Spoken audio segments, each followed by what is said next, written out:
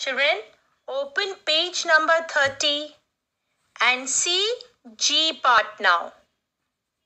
Read the question with me, children, okay? Fill in the blanks using pictures as clues. Read it again. Fill in the blanks using pictures as clues.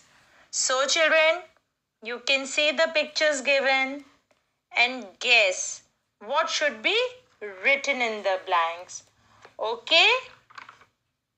It's very interesting. So, let's start.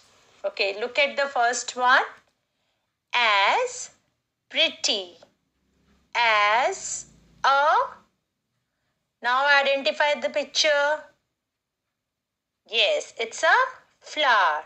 So children, flower is beautiful and pretty. You know that. So write as pretty as a flower. So write flower here. F L O W E R. Flower. Written. Now come to the next one, the second one as slow as a okay. Now children can you guess the animal? Actually it's an insect a very small insect.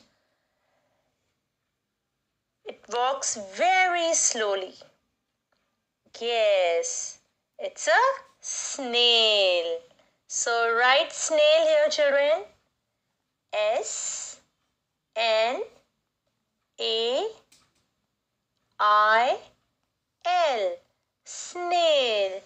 It walks very slowly okay?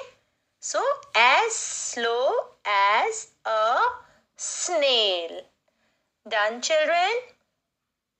Okay. Now come to the third one. Read with me. As cold as can you identify the picture?